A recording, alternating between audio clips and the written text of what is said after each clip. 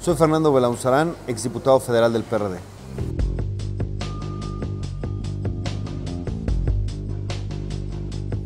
El problema de la corrupción en México es gravísimo, en gran medida porque el régimen es sistémicamente corrupto. ¿A qué me refiero con sistémicamente corrupto? A que la política se financia con corrupción. O si quieres decirlo de otra manera, la corrupción es fuente de financiamiento de la política. Y eh, además, las elecciones en México, es decir, la distribución del poder, se decide con eh, procesos electorales en donde eh, en gran medida son fundamentales los recursos no fiscalizados. Eh, así decide, ¿para qué? Para construir clientelas.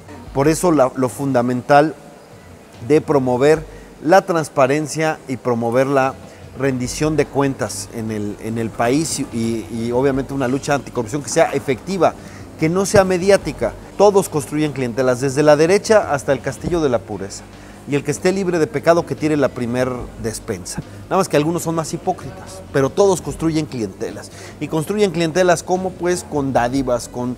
Son, está tan maleado esto que hay eh, líderes que se venden a distintos partidos, ¿no? Eh, y van a distintos actos, etcétera, porque saben eh, la cantidad de recursos que hay. yo diría que el programa social más fuerte de este país es informal y se llaman elecciones.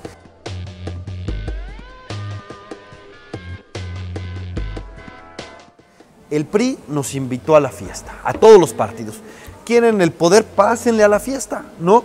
Pero con sus reglas no escritas, con sus privilegios, con sus canonjías y con esta corrupción sistémica. La transición a la democracia no, no combatió la corrupción del viejo régimen, la reprodujo y nada más la extendió. Y esto lo se reproduce, insisto, desde la derecha hasta el castillo de la pureza. Todo mundo en eso se mimetizó con el PRI.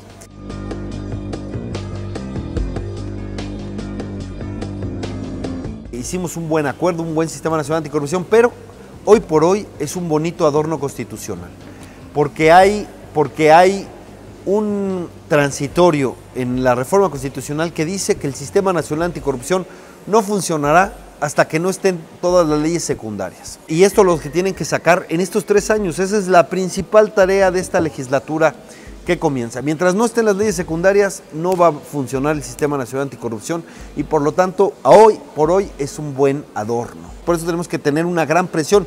A partir de febrero o marzo del próximo año se empiezan a vencer los plazos para que estén las leyes secundarias. Las eh, y, ahí es donde yo creo que tenemos que empujar. En donde sí hay un, un gran avance en transparencia. Lo que yo espero es que los ciudadanos aprovechen ya las ventajas que tiene una ley de transparencia con un INAI que tiene dientes que, claro, dependerá de que el INAI esté a la altura de las circunstancias.